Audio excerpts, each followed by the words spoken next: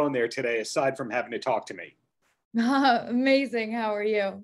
Great. Thank you very much. And leading straight into it, um, are we allowed to talk about the single that's not yet released, or are we waiting to talk about that?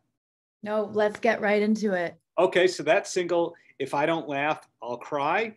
Um, when did you actually finish it? Because I believe the release date is May 6th, but things tend to have a long lead time. Yes. So I actually wrote that song about a month or two ago. I posted a little snippet of it onto TikTok. Then a lot of the comments were like, please finish it.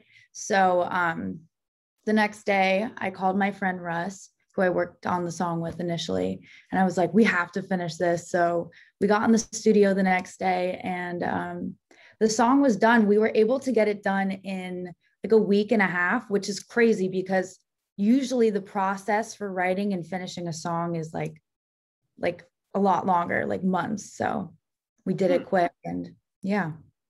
Uh, that song, like most of your songs that I've heard, really, really strong grabbing chorus. And I get the mm-hmm. sense that for you, the chorus comes first. Is that the case in a lot of your songs?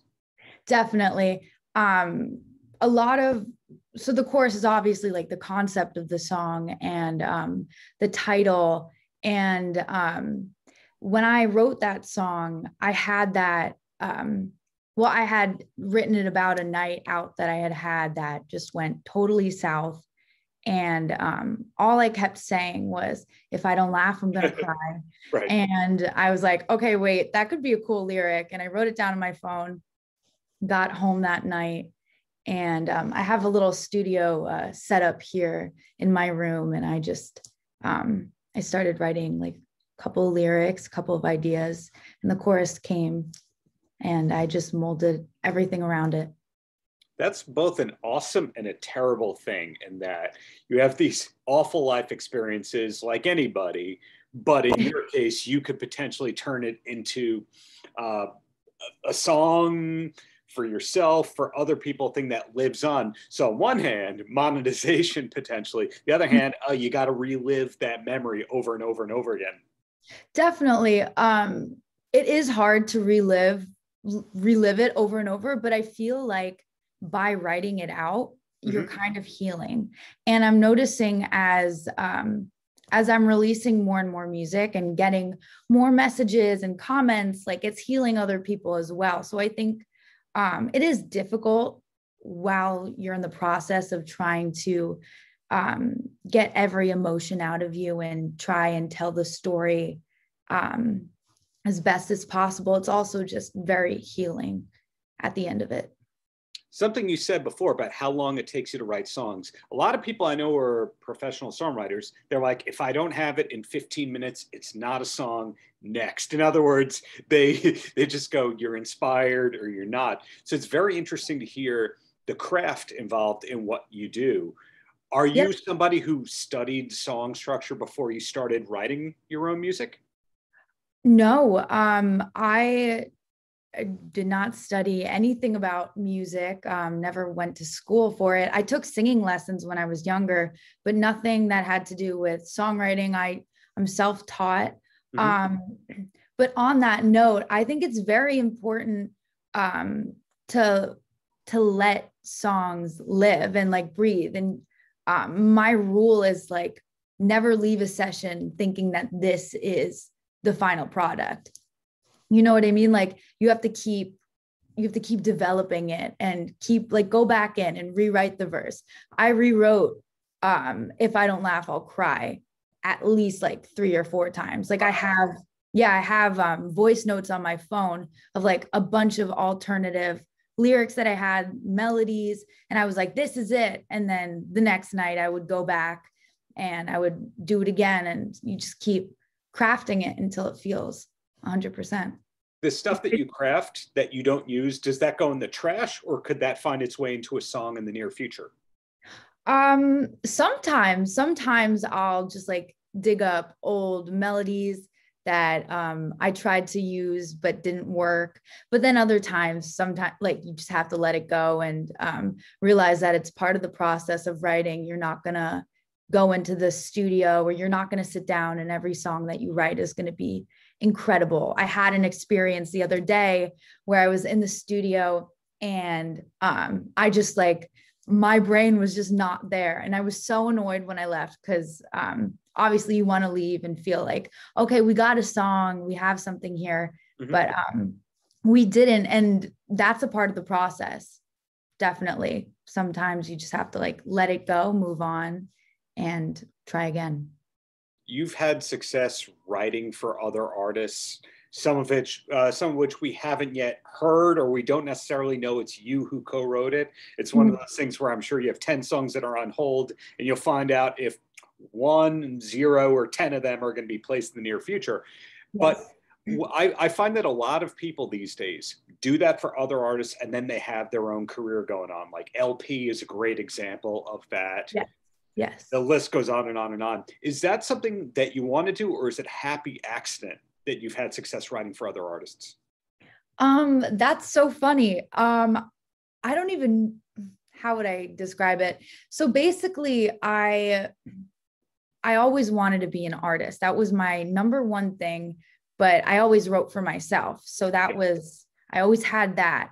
And when I was 17, I was given an opportunity to sign a publishing deal. And um, I said to myself, okay, we're going to sign this publishing deal.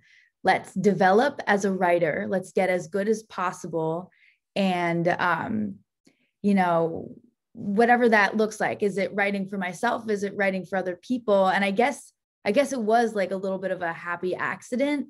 Um, I was, you know, writing a bunch of songs. I would get them pitched to artists. Some artists would pick them up, or I would be in a session with an artist like um, like Tate McRae, John mm-hmm. Legend, and it um, yeah, it just came to be that I started writing songs for other people as well.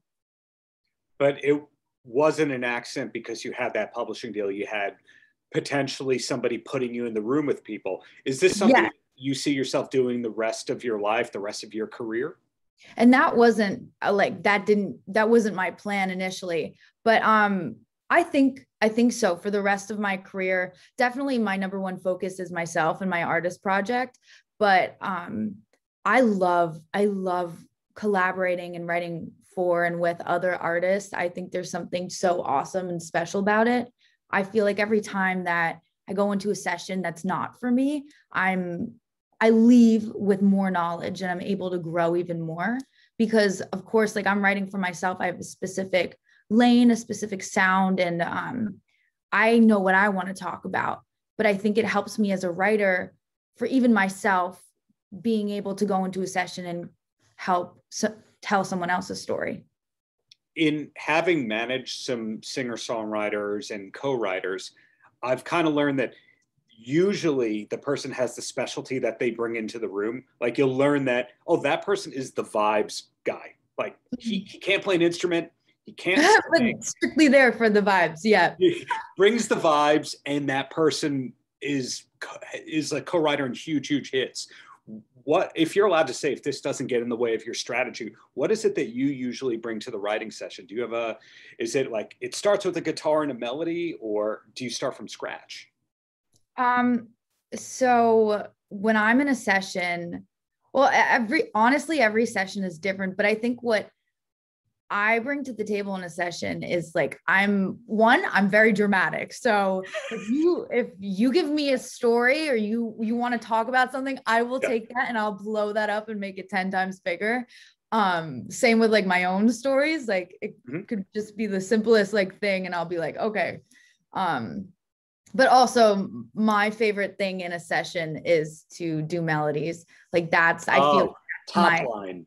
Yeah i think that's definitely um my uh my strong point. But at the same time like it ebbs and flows. Like some months i'll be like really um just obsessed with getting lyrical and um honing in on that. Mm-hmm. but um right now i'm really just loving to do um the melodies, the top line, and um, I think that's what I bring. Bring so in. no no writer's block for you these days. no, I always have something to write about. Always. That's awesome. So bring it back to your artist career. If I don't laugh, I'll cry is the next single. You don't have to say what it is. I don't know what's under embargo, but how far ahead are you planning? You know, in other words, is the next move based on the success of that single or are you like hey i know when the album is i know when these things are and i'm hitting the road then so i definitely think that um, i want to take my time when it comes to releasing um, putting out music making sure that everything i put out is true to myself mm-hmm. and um, going to not only resonate with me but um, the people that are already listening so um, I'm trying not to plan too far ahead, but I do have I have a whole bunch of I have albums worth of music right now. Um so I guess we're just going to see uh we're going to let if I don't laugh I'll cry do its thing and yep. um and then go from there. I have a couple of like follow-up songs ready to go. Um but when it comes to album and uh like the next, you know, 12 releases. I try not to think about that yet.